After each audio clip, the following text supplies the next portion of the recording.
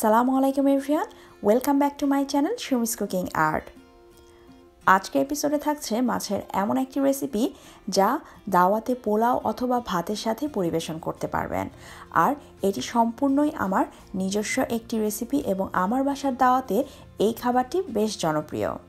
চলুন তাহলে কথা না বাড়িয়ে দেখে নেই কীভাবে মাছের কোপ্তাকারি তৈরি করতে হয়। এই মাছের কোপ্তাকারি যে কোনো মাছের ফিলেট দিয়েই তৈরি করতে পারেন। আমি এইখানে নিয়েছি এক কেজি পরিমাণ বাসা ফিলেট এবং এই ফিলেট আমি ছোট ছোট টুকরা করে কেটে নিয়েছি। আপনারা চাইলে ভেটকি, রুই, চিতল অথবা বেড়ামুন্ডি ফিলেট দিয়েও করতে পারেন। এখন সেই টুকরাগুলো আমি একটি ফুড প্রসেসরে নিয়ে নিব। মাছের ফিলেট আমি টুকরো করার আগে কিন্তু বেশ কয়েকবার ভালো করে পানিতে ধুয়ে নিয়েছি এবং পানি ঝরিয়ে নিয়েছি। ফুড প্রসেসারে দিয়ে আমি একদম মিহি কিমা তৈরি করে নিলাম বা বলতে পারেন মাছের পেস্ট তৈরি করে নিলাম। আপনাদের একটু তুলে দেখাচ্ছি, দেখুন একদম মিহি পেস্ট হয়ে গিয়েছে। এখন আমি একটি মশলা মিক্সচার তৈরি করব, যা আমি এই মাছের সাথে মাখিয়ে কোপ্তা তৈরি করব। এই জন্য নিয়ে নিলাম আধা কাপ পরিমাণ একদম মিহি কুচি করা পেঁয়াজ। মরিচের কুচি দিলাম পরিমাণ মতো, যে যেরকম ঝাল পছন্দ করেন সেই রকম দিতে পারেন। ওয়ান থার্ড কাপ মিহি ধনে পাতা কুচি। লবণ পরিমাণ মতো, আধা টেবিল চামচ পরিমাণ দিলাম রসুন বাটা। লেবুর রস দিচ্ছি এক টেবিল চামচের মতো। হলুদ গুঁড়া দিব সামান্য আধা থেকে এক চা চামচের মতো।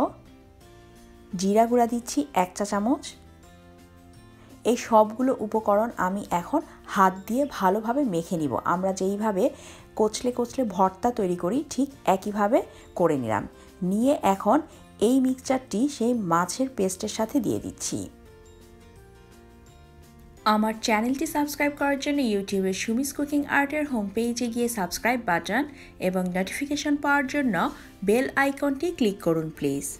মাছের পেস্টের সাথে মশলা মিক্সচারটি মাখানোর জন্য অবশ্যই হাতের ব্যবহার করতে হবে। হাত দিয়েই খুব ভালোভাবে সম্ভব মাখিয়ে নেওয়া। দুই হাতের তালুতে আমি একটু তেল মাখিয়ে নিয়েছি। এখন এই মিক্সচার থেকে অল্প অল্প করে নিয়ে দুই হাতের তালুর মাঝে নিয়ে গোল গোল বল তৈরি করে নিচ্ছি।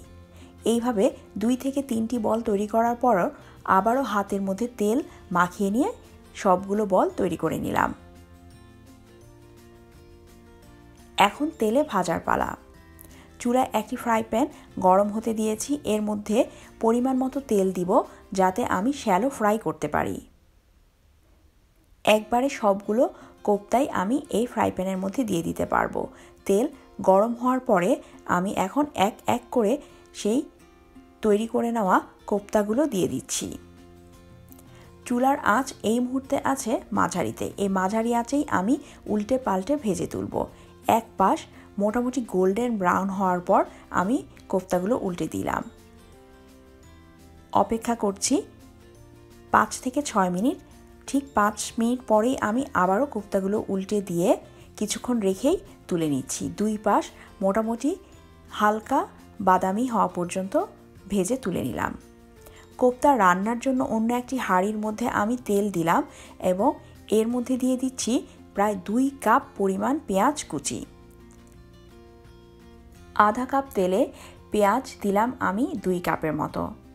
ভালোভাবে একটু নেড়ে চেড়ে নিচ্ছি। যখন পেঁয়াজ ট্রান্সপারেন্ট হয়ে যাবে, তখন দিয়ে দিলাম এক কাপ টমেটো টুকরা। টমেটো টুকরা দিয়ে আবারও একটু নেড়ে চেড়ে রান্না করব যতক্ষণ পর্যন্ত না টমেটো নরম হয়ে আসে। এরপর দিলাম এতে আধা টেবিল চামচ পরিমাণ রসুন বাটা। জিরা গুঁড়া দিলাম এক চা চামচ, মরিচ গুঁড়া দিলাম এক চা চামচ, হলুদ গুঁড়া দিচ্ছি আধা চা চামচ দিয়ে ভালোভাবে নেড়ে চেড়ে মাখিয়ে নিচ্ছি। এখন এর মধ্যে আমি পানি দিব আধা কাপের মতো। আধা কাপ পানি দিয়ে ভালোভাবে নেড়ে চেড়ে ঢেকে এই মশলাটুকু কষাতে দিব।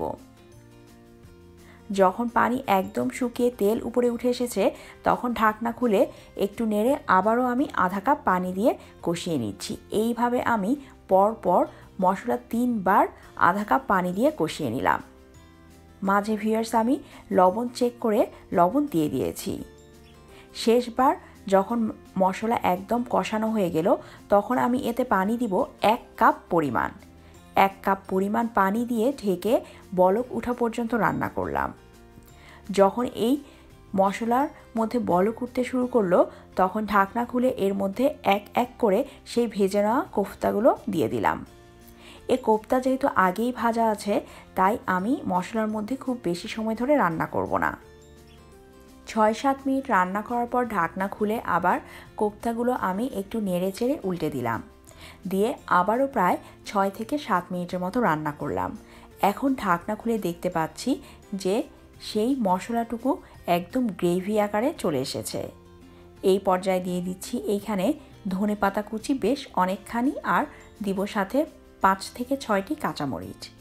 দিয়ে নেড়ে চেড়ে আমি ঢাকনা দিয়ে দুই থেকে তিন মিনিটের মতো রেখে দিব।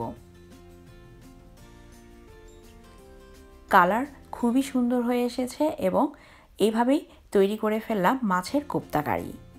এখানে একটি কথা অবশ্যই খেয়াল রাখবেন, যেহেতু কোপ্তা আমি খুব বেশি সময় গ্রেভিতে রান্না করব না এই জন্য মাছের কোপ্তাগুলো দেওয়ার পূর্বেই মশলা বেশ কয়েকবার কষিয়ে নিতে হবে। তাহলেই তৈরি হয়ে যাবে খুবই মজার স্বাদের মাছের কোপ্তা কারি। ভিয়ার্স আমার এই রেসিপি যদি আপনাদের ভালো লেগে থাকে, তাহলে চ্যানেলটি সাবস্ক্রাইব করে পাশে থাকবেন এবং ফ্রেন্ডস ও ফ্যামিলির সাথে শেয়ার করবেন। Thanks for watching my video আল্লাহ হাফেজ।